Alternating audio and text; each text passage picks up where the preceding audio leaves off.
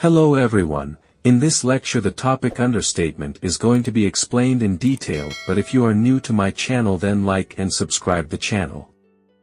Well, let's move and learn it. It can be defined as Understatement is a figure of speech in which a writer or speaker deliberately makes a situation seem less important or serious than it is. What does it mean?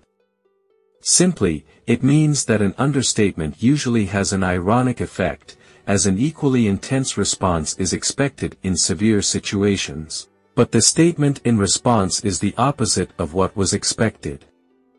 As something serious or important happens and you talk about it in a manner that makes it appear less serious or less important so then it is called understatement. I think you are not getting the point so let me ask you a question, do you know hyperbole? It is the opposite of hyperbole. As in hyperbole in which something is represented as being larger, better, or worse than it really is. It is the opposite of understatement because in understatement something is made less important or less serious.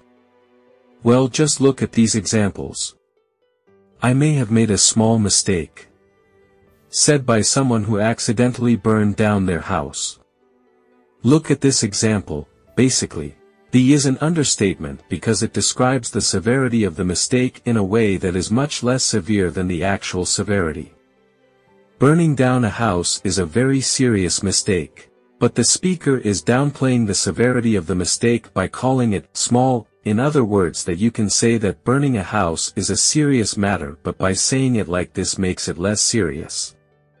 So it is understatement. I'm not the best dancer. After winning a dance competition. Look again to this example, this is also understatement because it creates a sense of surprise.